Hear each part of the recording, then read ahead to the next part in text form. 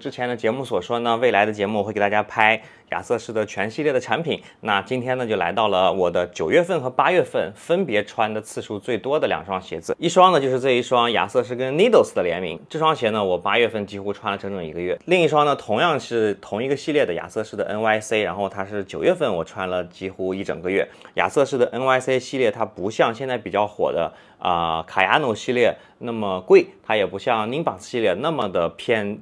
正式运动风，它的定位是非常适合日常和休闲的，所以呢，它的配色选择就非常的多。基本上你能想到的配色，那从全黑黑武士到全白到米白到任何颜色的配搭，它都有。亚瑟士的 NYC 系列，因为它是生活向的 lifestyle 系列，所以它的联名非常非常的多。你像这个的话是跟。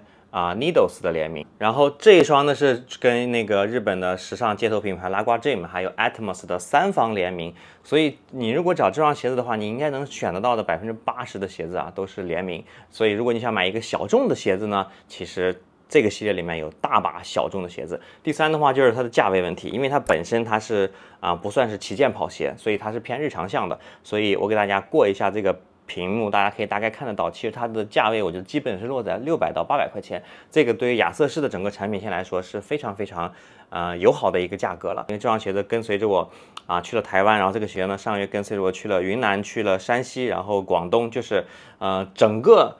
一整个月，我一出远门，我都只带和只穿了就这么一双鞋，没有其他鞋子了。这双鞋子，我觉得它的外观把复古美学跟现代性能做了一个非常好的结合。首先，它的外观灵感来源呢，就是两千年比较火的，像亚瑟士的 Gel Nimbus，还有 Gel MC Plus，所以还是能看到二十多年前的这种复古的外形。那当然了，那性能方面呢，前后掌的 Gel 胶不用多说，亚瑟士的当家缓震科技，比较软的啊，比较软，但它不弹，就是比较。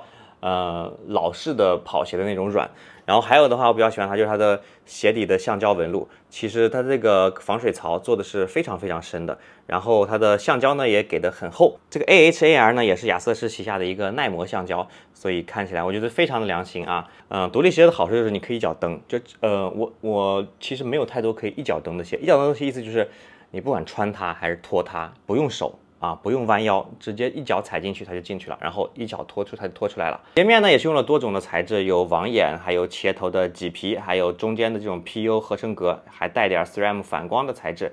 这个蓝色啊，这个蓝色真的是啊，上到。上一辈儿，下到下一辈儿，都跟我说这双鞋子很好看。他们说这个鞋子挺好看的啊，问我是什么牌子，所以引起了他们强大的兴趣。它的联名非常多，然后配色也非常的多，所以它不是那种大火的款，它属于小众款。所以啊，假鞋是不做小众款的。毕竟亚瑟士也是亚瑟士也是这个老老牌四大跑鞋之首啊，跑鞋鞋王。买小众的亚瑟士就认准亚瑟士 Gel NYC 系列。